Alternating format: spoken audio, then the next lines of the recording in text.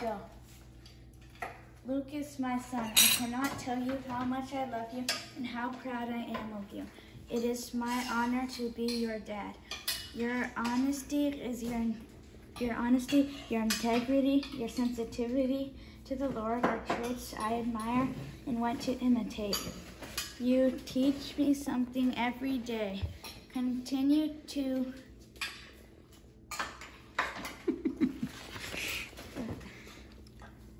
Live. and to live your life for Jesus. You are very special to him and he has big plans for your future. Just like King Josiah, you will bring restoration everywhere you go. I love you. Poppy. It's a comic. Read it. Out loud. Yeah, if you want to. Lucas, I love you and I believe believe in you, my son. Happy 12. Think about all the plans God has for you. Really, I can't wait. And get ready because great plans require great preparation. You will be tested. And will I be ready? Wait, really? And will I be ready? Ah! read it. 20 years later. I can't believe it's been 20 years since we took this picture. I can't believe you're now 32 with kids of your own. So proud of the godly man you've become and how you lead your family. Thanks, Poppy. I'm heading my family. Wait. Leading. Leading my family, it's sure been a challenge.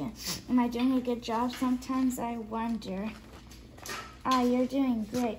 I used to worry a lot and was too hard on myself and others, but I'm finally learning to relax and know God has everything under control.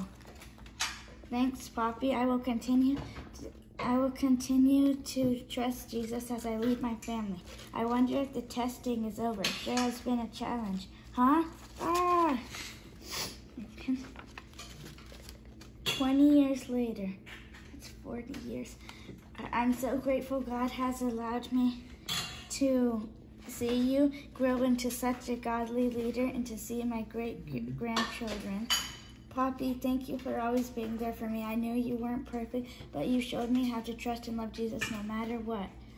I have run the good race. I fell many times, but Jesus Picked. picked me up always and he will always be there for you even if i'm gone run the good race my son your family is watching thank you for always praying for me and believing in me.